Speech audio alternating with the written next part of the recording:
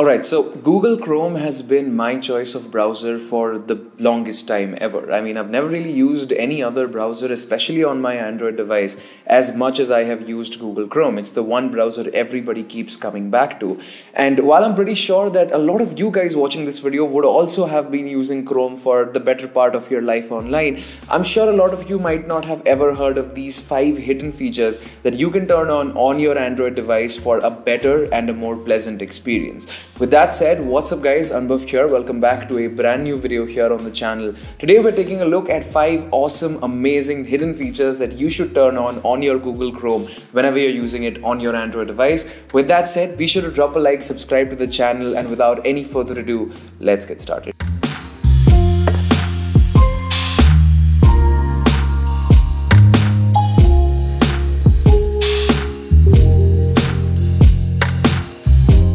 Alright, so the features that we are going to be talking about on Chrome are in the form of Chrome flags. Now, if you're not familiar with what Chrome flags are, very simply put, these are experimental features that you can turn on on your Chrome settings which work across all devices, whether it's Windows, your computer, your laptop, or your Android or iOS phone. But in today's video, we're taking a look at the ones that are really amazing to be used on your Android devices. Now, do keep in mind that since these are experimental features, they might cause a little bit of stutter or lag on your Chrome and even cause it to crash sometimes. But if you like tinkering around like me, it's probably worth it depending upon the kind of things that you can do inside your Chrome. And more often than not, they don't really crash. Now to install any of the Chrome flags that I talk about in today's video, all you have to do is go to the link in the description at chrome colon forward slash forward slash flags. And over there, just search the names of all the hidden features that we're going to be talking about today. Alright guys, so the first one is called smooth scrolling. And as the title title suggests, this aims to either reduce or completely remove any scrolling stutter or lag that you might face on your Android device.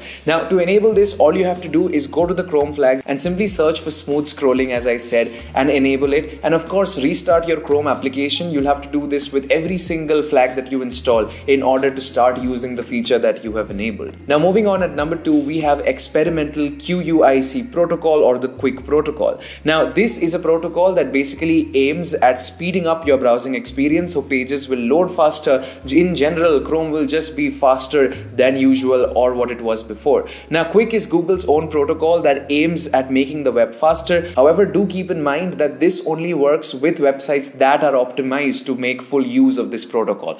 But then again, something is better than nothing. And if it does work, then why not give it a shot? Definitely check it out. Moving on at number three, we have reader mode. And honestly, this is a great flag if you want to read stuff off the internet.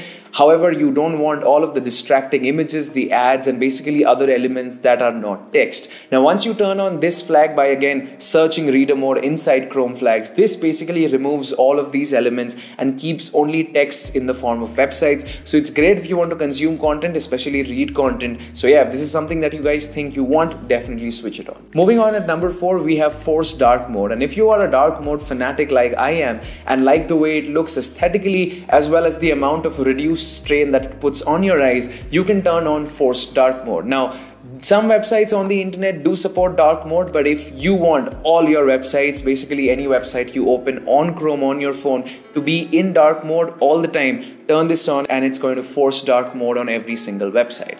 Alright, with that said, last but definitely not the least, we have parallel downloading. And honestly, I know the feeling when you're downloading large files, especially on your phone using Chrome, the amount of time that it takes is a very long time, even if you have a pretty good internet connection. Now, what parallel downloading does is basically break down the file that you are downloading into multiple files that are downloaded simultaneously at the same time so that it can get greater speeds and also download the file quicker. Of course, once the file is finished downloading, it puts it back into one normal file and you can use it like a normal downloaded file. With that said, these are five amazing Chrome flags which are hidden features that I think you guys should definitely use in case you guys are also using Chrome as your daily, you know, browser of choice on your Android phone. If you guys think this video was cool, be sure to drop a like, subscribe to the channel. And with that being said, this is Anubhav signing out. I'll be coming at you guys with a lot of new, fresh, new content like this very soon from now on. So keep an eye on your sub box, hit that bell icon. With that said, this is Anubhav signing out. You guys have a great day. I'll catch you guys next time. Until then, stay safe. Peace out.